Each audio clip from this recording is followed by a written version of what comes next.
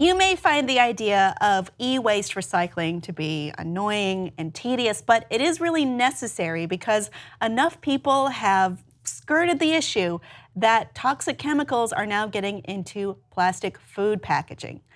Um, so, this is from recycling. So, there's two different ways to categorize, uh, or there's many different ways rather, to categorize uh, recycled plastics. But typically with electronics, um, like let's say your old game console or an old television. Or electronic cords. Sure. I mean, most electronics actually are black plastic, and this is specifically uh, where the issue is coming from. So, black plastic is aesthetically pleasing.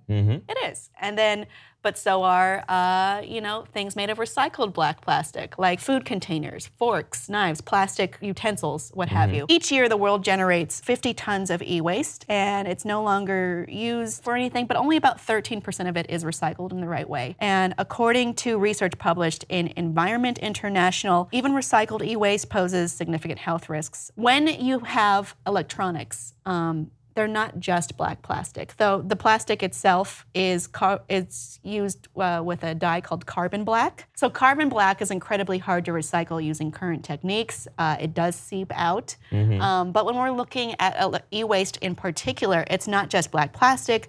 There are also things added to further insulate or uh, keep it generally healthy or fortify the case at least. And these include antimony, which is durable when exposed to heat, but it's similar to arsenic in terms of toxicology, bromine, and limited amounts of cadmium, mercury, and lead. And sometimes companies are able to skirt the e waste regulations by saying that, oh no, these aren't um, hazardous or these aren't toxic, they are repairable or reused. So they are sent a different way, and then they find their way into recycling, and then by uh, I guess many loopholes or many falling through the cracks, these elements end up in um, plastic food containers or coffee cup lids or you know a then- variety of things. And that's where this becomes really dangerous because we have so much black plastic in our lives. I mean, just looking around the studio yeah, right now. camera, chair, that thing. Just the, the pounds of black plastic that we have in this very tiny space